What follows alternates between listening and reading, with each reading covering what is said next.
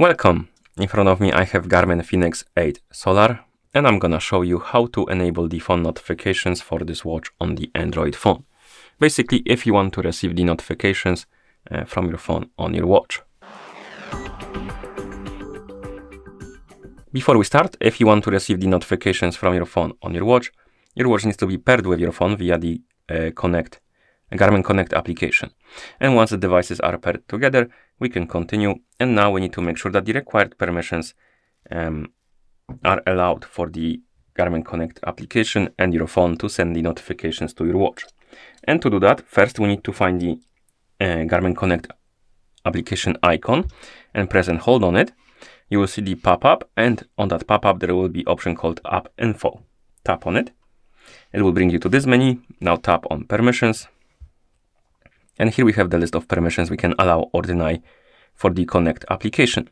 And if you want to receive the notifications about the calls, uh, messages and stuff like that, you will need to allow the call logs, contacts, phone and SMS.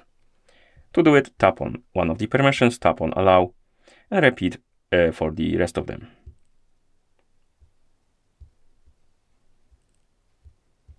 Like this.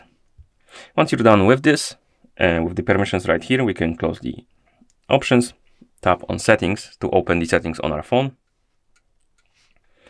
And in settings, we need to find the uh, option and it's called, uh, either it's called uh, notification access or device and app notifications. It's called notification access or the on the older versions of Android usually, and on the newer ones it's called uh, device and app notifications. And to search, or rather to look for it, you can tap on search and type in the one of the names for example, device and app notifications, it's here, or you can uh, type in notification access.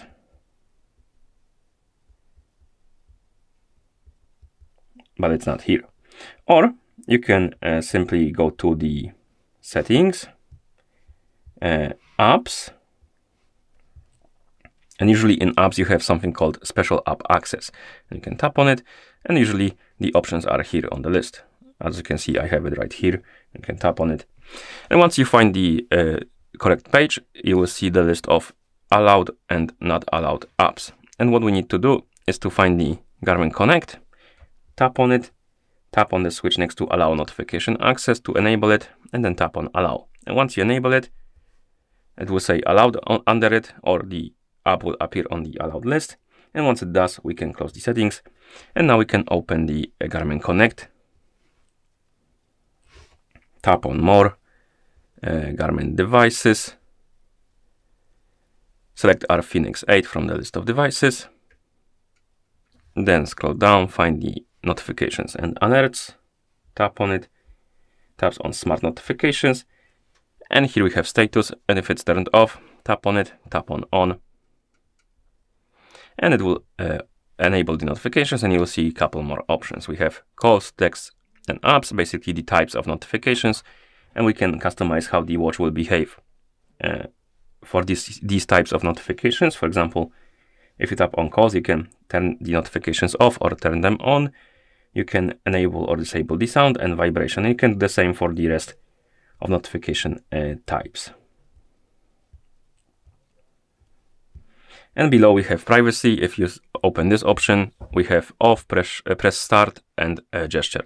Basically, uh, I believe it will um, not display the whole or the content of the notification basically.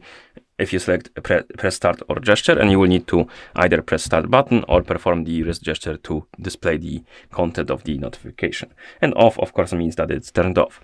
Timeout is basically how long the notification stays on the screen after you receive it and signature, I'm not sure what this option does, but you can turn it on or off.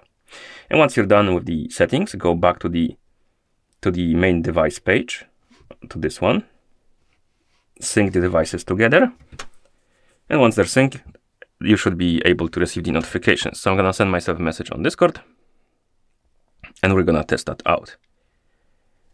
Um, sometimes it takes longer for the notifications to start working, but hopefully this time it will work fine.